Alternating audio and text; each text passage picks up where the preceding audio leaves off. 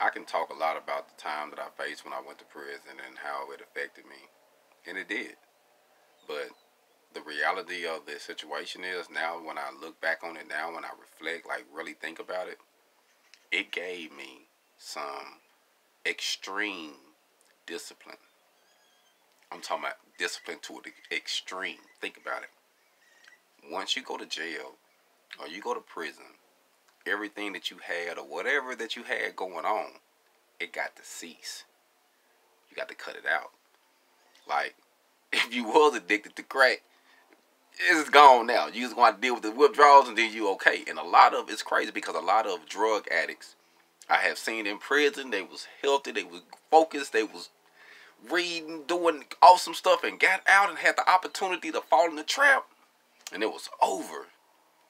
So think about that if you can form your mentality to think like, right now I'm incarcerated, I got to get myself together. You see what I'm saying? And I got to split these habits. I ain't got no choice. I know it might sound weird, but if you have that type of discipline, imagine what you can do. Now I'm starting to see it in my life because I got a lot of discipline. And sometimes my discipline leave me standing alone sometimes. And it is what it is. Because when you believe in something, you believe in that. Remember, it ain't you know what I mean. It, it's not somebody else's responsibility to believe in your vision or to take care of your vision. Like it's not someone else's responsibility to take care of your child. That's your that's your responsibility.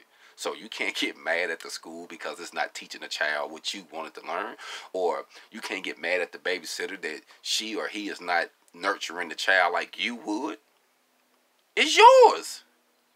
Think about it your vision, your business, your purpose, take care of it. Have some self-discipline. Go that extra mile. Do what need to be done. Hog on.